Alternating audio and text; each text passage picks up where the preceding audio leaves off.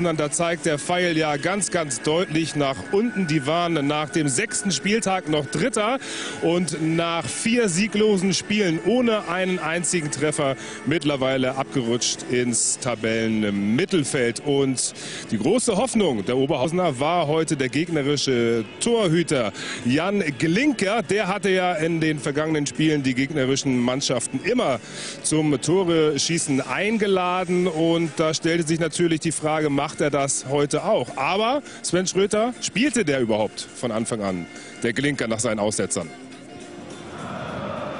Torwartwechsel bei Union Berlin. Uwe Neuhaus brachte Marcel Höttike.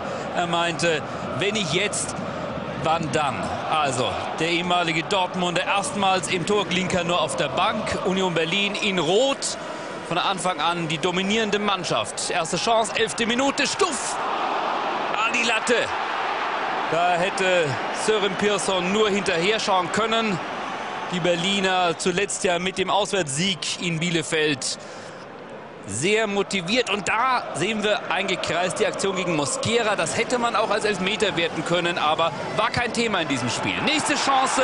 Pearson mit der Glanzparade gegen Stuff. Nachschuss Göhlert. Im Blickpunkt nicht Höttike am Anfang, sondern nur der Oberhausener Keeper. Große Chancen für Berlin, die hatten das Spiel gut im Griff.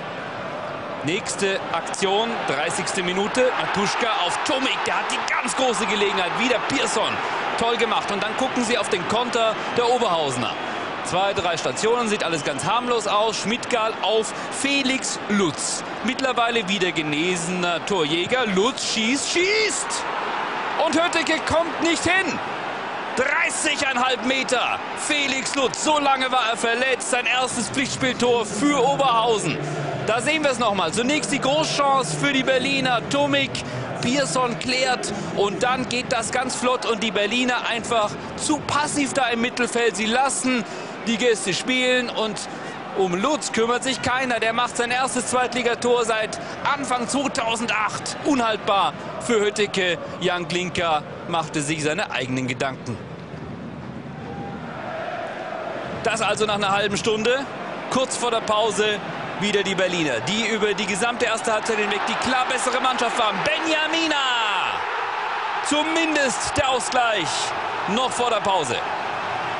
Hat zuletzt zweimal in Folge getroffen. Klasse in Szene gesetzt, kein Abseits, wie wir hier sehen können. Der Pass kam von Matuschka und dann mit ganz viel Gefühl, immerhin unentschieden, eigentlich aber zu wenig für Union. Sie waren so klar überlegen in Halbzeit 1. Zweite Halbzeit, die Oberhausener, da sind wir schon in der 64. Minute. Schmidgal mal mit einem Konter und Hötteke kann sich zum ersten Mal richtig gut auszeichnen. Oberhausen setzte voll auf Konter, und war eigentlich mit dem Punkt zufrieden. Dann schon die Endphase, 87. Minute. Kräfte ließen ein bisschen nach bei beiden. Und mittlerweile König eingewechselt, trifft nur den Pfosten. Ronny König mit der ganz großen Gelegenheit für Rot-Weiß Oberhausen. Das wäre überaus schmeichelhaft gewesen, aber da kommt er, da steigt er hoch und Hötteke hätte keine Chance gehabt. Alle Zeichen also auf Remis. Zweite Minute der Nachspielzeit. Kohlmann. Und da kommt Benjamina. Benjamina! Sein zweiter Treffer. Nicht mehr für möglich gehalten. Vier der letzten fünf Berliner Tore, alle von Benjamina, der jetzt auch eine Einladung der algerischen Nationalmannschaft hat. Kein Abseits, passives Abseits von ED, aber Benjamina, alles im grünen Bereich. Und somit Jubel auch beim neuen Keeper 2-1 der Sieg für Union Berlin. Insgesamt verdient Hans-Günter Bruns war dennoch natürlich sehr enttäuscht.